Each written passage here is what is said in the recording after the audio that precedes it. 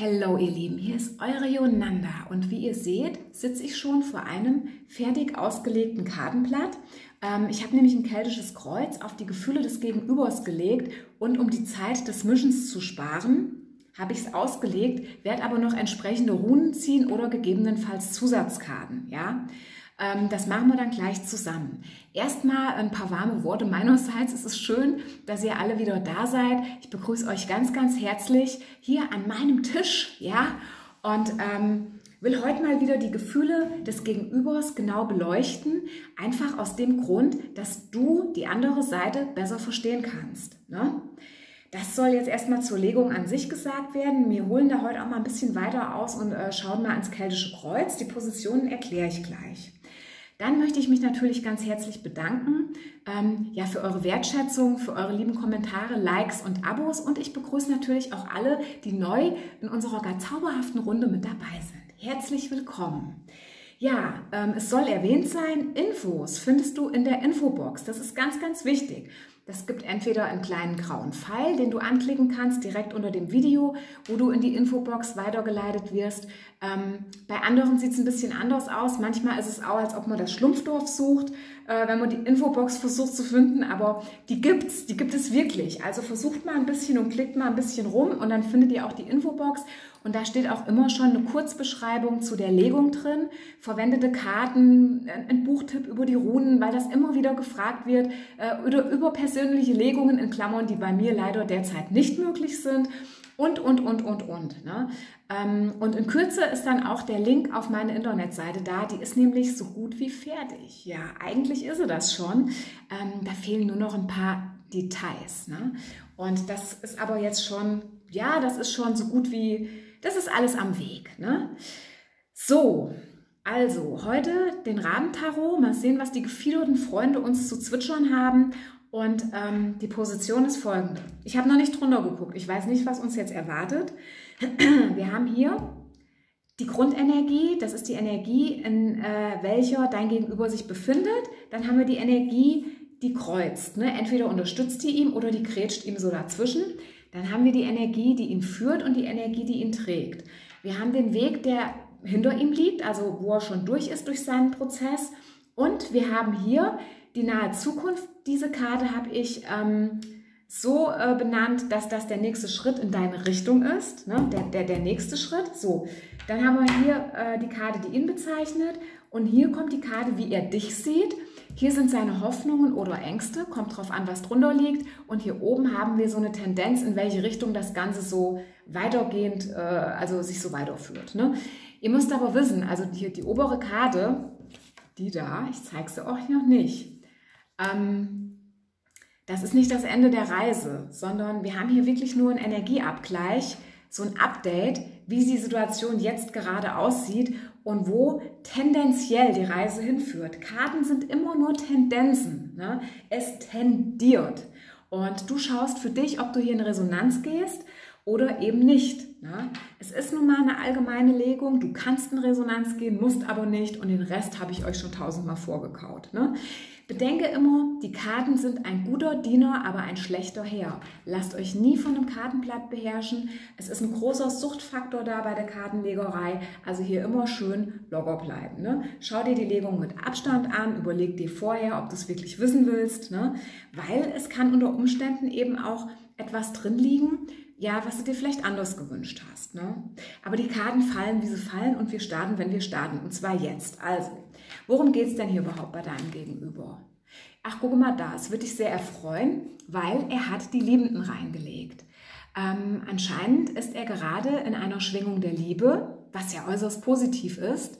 Er ist in einer Schwingung der Liebe und vielleicht äh, gerade jetzt in so, einem, ja, in so einem Punkt angekommen, wo er weiß, dass er auf sein Herz hören will. Ne?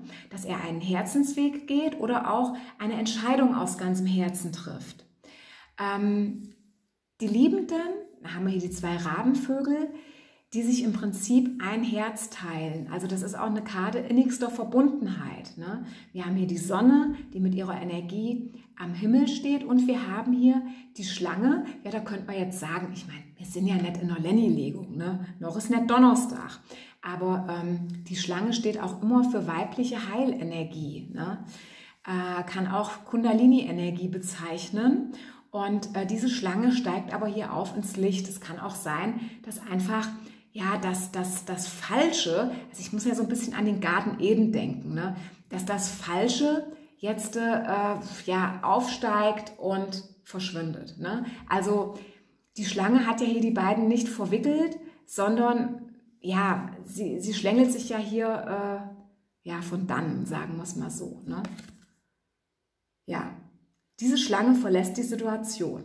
Das ist sehr zweideutig. Ne? Also wenn es hier wirklich, ich schlage jetzt einfach mal die Brücke, ich schlage mal die Brücke, wenn es hier wirklich Komplikationen in der Beziehung gab oder dunkle Kräfte, die irgendwie eingewirkt haben, dann dürfen die jetzt gehen. Und das bezeichnet ihn gerade, als ob sich hier etwas ganz Kompliziertes auflöst und er endlich wieder zurück in die Liebe gehen kann. Ne? Und auch bereit dazu ist, mit neuer Energie in diese Liebe zu gehen. Und äh, dein Gegenüber, das ist natürlich äh, jetzt ganz äh, schnurzpiep, ob das jetzt äh, männlich oder weiblich ist. Ne? Du bist der Zuschauer und hier auf dem Tisch sozusagen liegt dein Gegenüber, egal ob männlich oder weiblich. Sehr schön. Also ähm, er scheint hier in die Liebe zu gehen und auf den Schlag seines Herzens zu hören. So, welche Energie kreuzt ihn? Sehr positiv die drei der Münzen, ja die kommt ihm natürlich zugute. Das ist schon mal gut. Wir haben hier keine Negativenergie, sondern wir haben hier eine Schwingungserhöhung drin liegen. Die drei der Münzen stehen immer dafür, dass etwas sich verbessert. Ne? Es ist eine Verbesserung. Das ist so eine Stufe äh, oder ein Schritt auf die nächste Stufe, ähm, auf so eine äh, Schwingungserhöhung, dass die Situation sich auf jeden Fall verbessert, weil man dazugelernt hat. Ne? Ähm, die drei der Münzen ist eine Karte, ja, die hat so ein bisschen was von ähm, etwas studiert haben, etwas verstanden und begriffen haben und äh, diesen Aha-Effekt und jetzt kann ich einen Schritt weiter gehen. Ne? Und das Positive ist, ihr seht hier den Raben Kirschen fressen und der Baum ist aber noch in der Blüte, der hat gar keine Blätter. Das heißt, hier ist eine Frucht reif äh, vor ihrer Zeit sozusagen. Weil normalerweise ne, muss der Baum ja erstmal grüne Blätter haben. Äh, ne, die Blüten hat er dann längst verloren, dann kriegt er grüne Blätter und aus der Blüte entsteht die Kirsche. Und hier ist aber so ein Zeitensprung. Also der, der Baum ist noch in der Blüte, die Blätter sind noch gar nicht da, aber die Ernte ist schon reif. Also hier ähm, hat er vielleicht, ne, also dein Gegenüber, der jetzt wieder in die Liebe geht, so einen persönlichen Quantensprung gemacht, weil sich hier vielleicht wirklich etwas naja, ich nennen wir es doch mal so, das Verteufelte lösen kann und äh, transformiert wird, weil die Schlange hier, die steigt auf ins Licht. Ne? Das finde ich sehr, sehr schön. Oftmals wird die Schlange auch als Heilenergie gedeutet. Ne? Gut, ein Krafttier, jetzt auf, als Krafttier geschaut, es gibt immer Licht und Schatten, ja. Die, die Schlange, die hat wirklich, die ist so, die ist sehr zwiespältig, die ist gespalten wie ihre eigene Zunge, soll ich gerade sagen. Die Schlange ist so gespalten wie ihre eigene Zunge. Die kann die Weiblichkeit symbolisieren, die kann für die Heilung stehen und die kann aber auch wirklich für das Verteufelte und Verwickelte stehen. Ne? Und du schaust jetzt einfach für dich, wie es einfach Sinn macht. Ne? Die Schlange ist so gespalten wie ihre Zunge. Das ist ja wieder mal genial. Ist gerade voll zu mir durchgekommen. So, welche Energie wirkt denn von geistiger Ebene und beeinflusst deinen Gegenüber? Welche Kräfte wirken da von oben sozusagen? Und da haben wir die sieben der Stäbe. Ähm, die sieben der Stäbe, das ist eine Karte, mh, mm, wo man seinen Standpunkt behauptet. Ne? Ähm, wo man auch, wo man auch äh, in so eine gewisse Verteidigungshaltung geht in so eine, in so eine gewisse Abwehrhaltung. Ne? Also es kann tatsächlich sein, dass ähm, der Prozess deines Gegenübers ja, durch, durch äußere Kräfte so ein bisschen beeinflusst wird. Das kann auch Durchsickern sein aus Paralleluniversen. Ne? Ähm, es spielen im Weltlichen, nee, nicht im Weltlichen, es spielen im, äh, in unserem Leben. Ne? oftmals Kräfte von außen eine Rolle, deren wir uns überhaupt nicht bewusst sind. Wir sind ja nicht allein, alles ist Energie und es gibt eben Paralleluniversen oder Energien von außen, nennen wir es doch mal so, die wir nicht sehen können, die nicht greifbar sind, aber die dennoch da sind. Und die sickern so in unser Feld durch ne? und beeinflussen uns auch.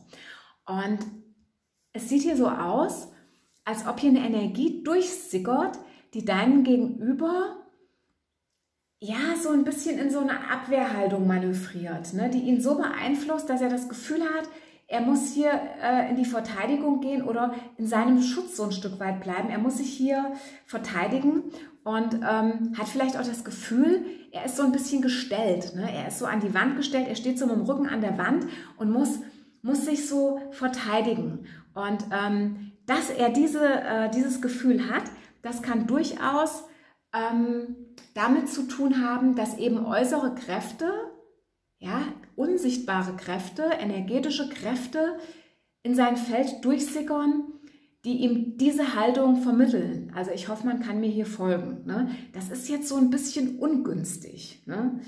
Ähm, positiv gedeutet könnte man aber auch wirklich sagen, er ist gut aufgestellt und weiß, wo er steht. Ne? Dass ihm diese Energie vermittelt wird. Wir werden mal sehen, wie die Legung weitergeht. Ne? So, dann schauen wir doch mal, welche äh, Karte die, die Basis, die Base ist, ja. Oh, das ist schwierig. Ne? Die Base ist mit Schwertern gespickt. Das ist immer schwierig, wenn, wenn Schwerter in der Basis liegen. Ähm, das heißt, hu, also grundsätzlich ist dein Gegenüber mit den Neuen der Schwertern ein Mensch, der zu Depressionen neigt und ähm, der wirklich äh, Phasen im Leben hat, wo er wirklich ähm, durch tiefes Tal geht, ne? ähm, wo er vielleicht auch eben durch diese Dunkelheit, die ihn einlullt, manchmal gar nicht er selbst sein kann. Ne? Und wenn dann noch entsprechende Kräfte von außen wirken oder von geistiger Ebene, sagen wir es mal so, von geistiger Ebene, also mit außen meine ich hier geistiger Ebene, die, das, die ihm das Gefühl geben, er muss sich hier verteidigen, ähm, dann sind das zwei sehr schwierige Karten. Ne?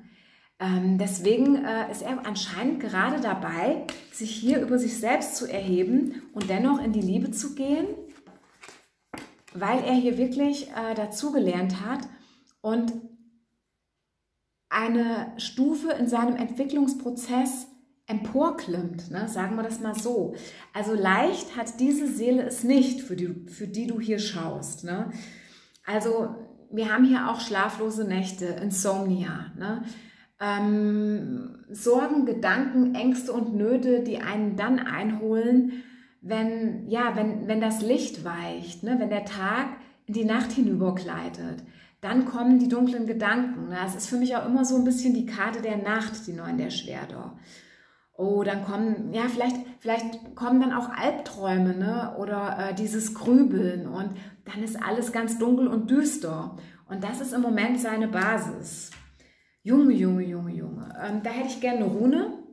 Und zwar möchte ich wissen, welche Runenkraft ihn unterstützt, ähm, diese Basis in die Heilung zu bringen. Genau.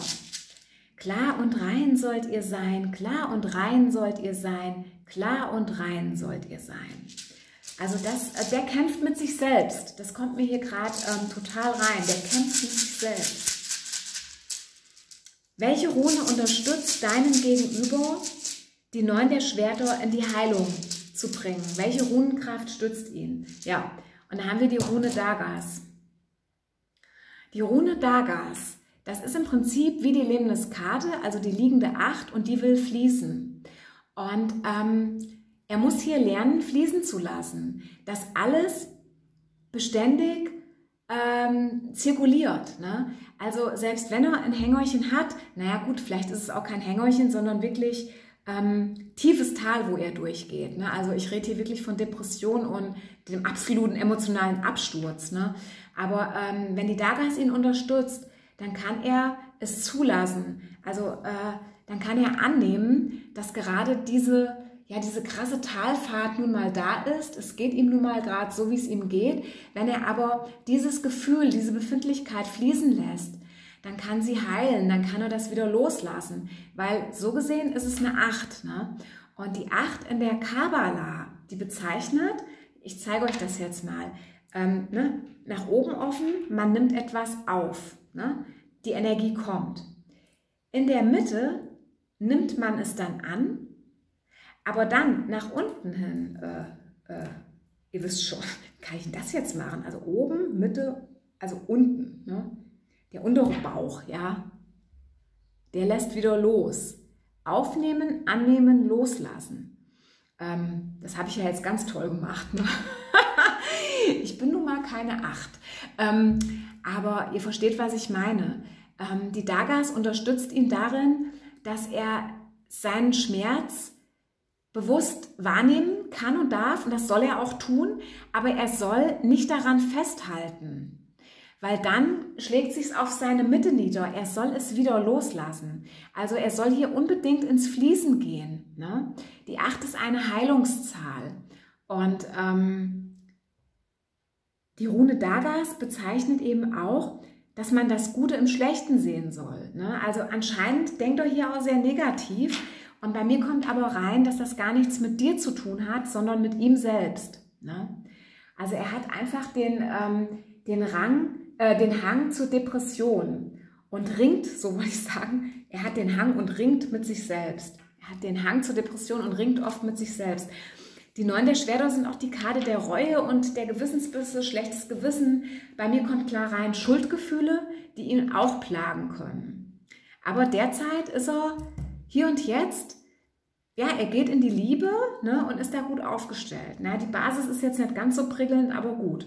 Wir arbeiten dran. Also die Dagas ist schon mal stützen. Ne? Die symbolisiert auch Licht und Schatten. Ne? Und vor allen Dingen, die symbolisiert die Vereinigung der Gegensätze. Ne? Also da ist wieder das, ne, dass man das Gute im Schlechten sieht und dass man eben im Fluss bleibt die Vereinigung der Gegensätze. Es ist nicht alles schwarz, es kann auch nicht alles Licht sein, Freud und Leid. Ne, das ist immer so ein, so ein beständiger Wandel und ähm, er soll einfach lernen, sich da tragen zu lassen.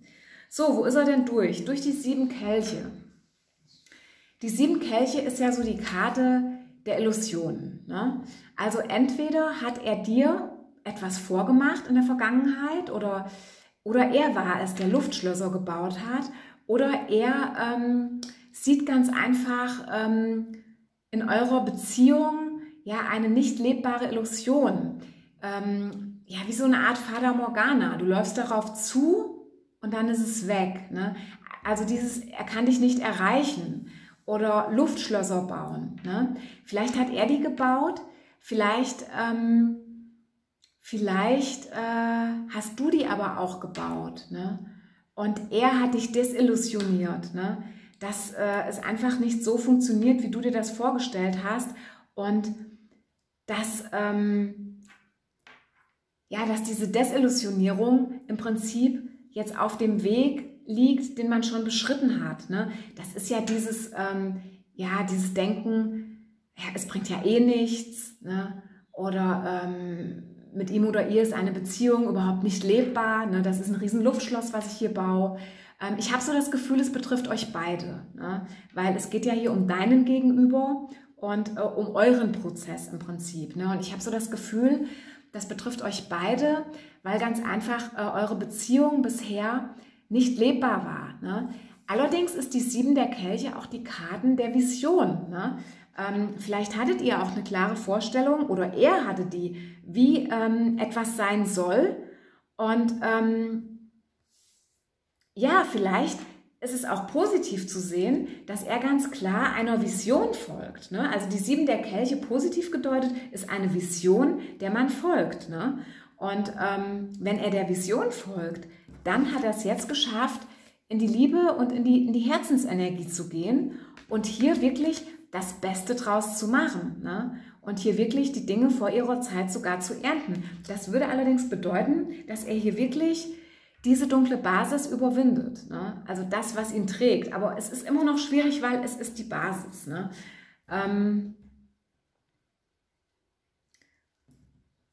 vielleicht lehrt ihn auch die Sieben der Stäbe, dass er wirklich seinen Standpunkt behauptet und wieder in seine Kraft zurückkommt. Ne? Dann, dass quasi hier die Base ihm die Kraft nimmt und die Sieben der Stäbe helfen ihm zurück in seine Kraft. Schau mal, wie es auf deinen Prozess jetzt ganz einfach Sinn macht. Ja, das ist schon nicht so ganz einfach zu deuten, aber es macht Sinn. Also es macht, es macht in mehreren Varianten Sinn. So, was ist denn sein nächster Schritt jetzt in deine Richtung? Wichtig ist ja, dass er in die Liebe geht. Ne? Sein nächster, wow, genialo. Also ähm, hier sieht es wirklich so aus, als ob der hier wirklich sein ganzes eigenes Drama überwindet, weil sein nächster Schritt in deine Richtung ist, dass er endlich Gefühle zulässt. Holla die Waldfee. Das ist geil. Also er geht hier ins Gefühl. Ne? Ich wiederhole nochmal. Er hat es hier nicht leicht. Er ist wahrscheinlich auch ein Mensch, der eine schwierige Vergangenheit hat und wo es schon viele Scherben gab, ne? wo schon viele Scherben zusammengefegt werden mussten. Ne? Und ähm, er hat eine Vorstellung, wie die Liebe sein soll. Ne? Er hat da eine Vision. Er kann also auch lieben, weil hier sind jetzt schon zweimal die Kelche gefallen. Die, die, äh, es ist hier klar, dass Gefühle da sind. Ne? Ähm, und von geistiger Ebene, das positiv gedeutet, wird er vielleicht jetzt wirklich darin unterstützt, dass er sich gegen diese Dunkelheit, die ihn immer wieder einlullt, verteidigt. Ne? Also das ist jetzt, das, das kristallisiert sich für mich immer klarer raus. Ne? Und dass er hier wirklich bereit ist, er hat hier gelernt, er hat dazugelernt, er ist auch bereit, ähm, den nächsten Schritt zu gehen, ne? also eine Stufe nach oben, die Schwingung zu erhöhen. Es gibt hier also eine Verbesserung, eine eindeutige Verbesserung in der Liebe. Ne? Er will das, er ist, er ist jetzt bereit, wirklich seine eigenen Schattenanteile zu überwinden, seinen Standpunkt zu behaupten und die Vision, ne, die er eigentlich hat, auch ähm, ins Leben kommen zu lassen. Ne? Es geht ja immer vom Geist in die Materie. Ne? Also es ist immer zuerst eine Vision da, bevor die sich in der Materie festigen kann. Und mit dem Ast der Kelche lässt er endlich die Gefühle fließen. Ne? Also du siehst hier, hier fließt das Wasser über. Die Kelche stehen immer für die Gefühle und ähm, er will hier auch die Chance ergreifen. In jedem Ast liegt eine Chance und er will hier die Chance ergreifen, endlich ins Fühlen zu gehen. Da will ich jetzt auch wieder eine Rune haben. Welche Rune unterstützt ihn denn in seinem nächsten Schritt auf dich zu? Welche Runenkraft stützt ihn? Sind wir jetzt mal gespannt. Die Rune Kenas. der nimmt die Projektion raus. Die Kenas ist der Spiegel und ähm, die Rune Kenas, äh, die steht immer dafür, dass ähm, etwas projiziert, also ihr, ihr müsst euch vorstellen, man spiegelt sich ja immer gegenseitig und ähm, die Erkenntnis ist zu erkennen, was gehört denn hier zu mir und was gehört denn zu meinem Gegenüber. Und ich habe so das Gefühl, er hat hier auch ein Stück weit eine Selbsterkenntnis. Ne? Ähm, die Kena steht auch für den Lebensfunken, also er kommt hier in eine neue Energie für das Licht des Lebens und auch die Verantwortung für eigene Taten zu übernehmen. Genau, also dass er im Prinzip, darauf wollte ich hinaus, dass er erkannt hat, dass er bei sich schauen muss. Ne? Er muss bei sich schauen. Es sind nicht immer nur die anderen. Es bist nicht immer nur du. Ne? Ähm, er muss hier bei sich schauen und die Kinders unterstützt ihn dabei, dass er eben zurück in die Gefühle gehen kann, weil er eine Selbsterkenntnis hat. Das kommt bei mir ganz klar rein. Also irgendwie hat er eine Selbsterkenntnis und die Kenas steht auch dafür, ähm, also die steht für die Geburt in ein neues Leben nach überstandener Krise. Das ist sehr positiv.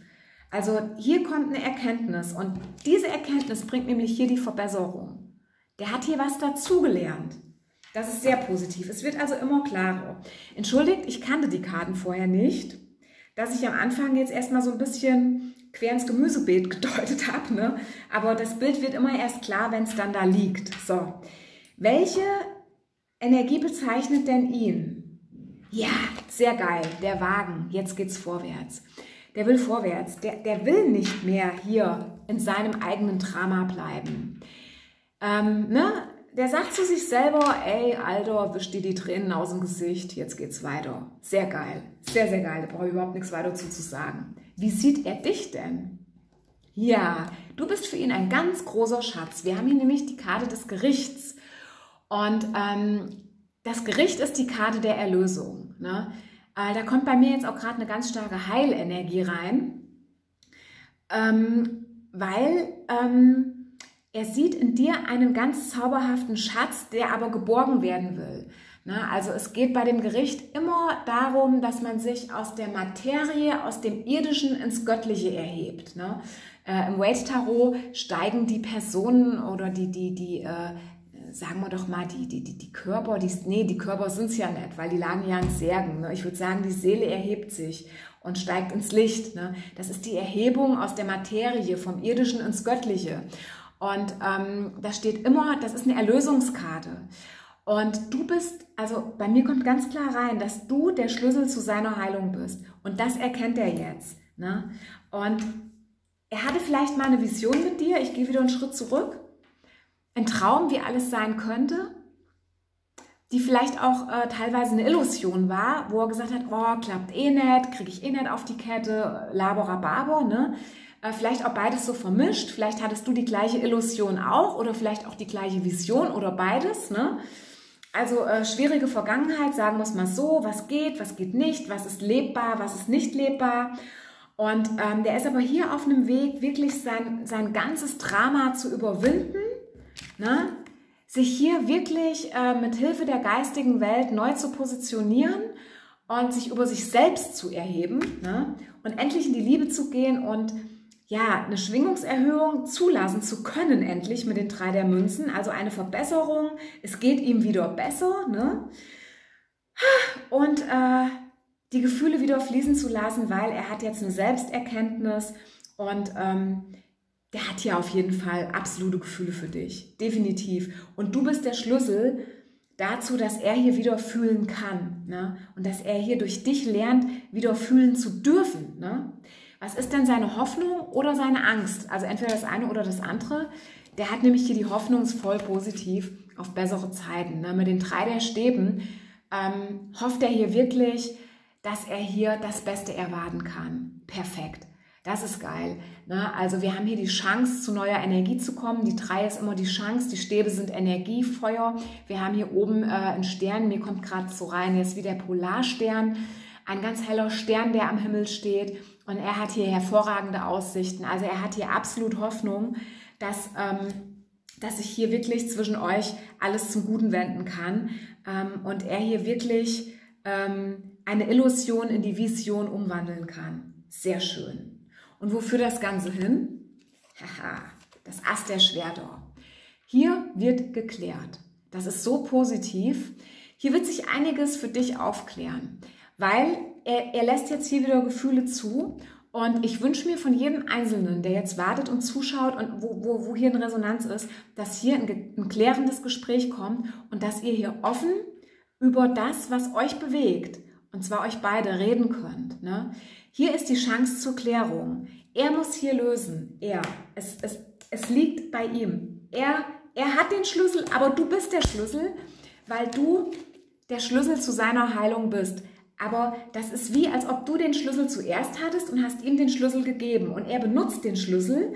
Und dadurch, dass er jetzt einen Schlüssel hat, kann er sein Drama verlassen, seinen Schmerz verlassen, ja, die Basis heilen mit Kraft der Rune Dagas, dass er hier lernt, fließen zu lassen, ja, und sich nicht an seinem Drama so festzubeißen ne, und äh, in einem Jammertal der äh, Depression zu versinken, ne? sagen wir es mal so, sondern dass er, dass er in den Flow geht ne? und dass er genau weiß, die Zeiten ändern sich wieder, es wird wieder besser, alles wird gut, ne? in dieses Vertrauen zu gehen. Ne? Und dann kann hier wirklich geklärt werden, hier ist die Chance auf Klärung. Welche Rune unterstützt denn euren Klärungsprozess? Das wollen wir jetzt noch wissen.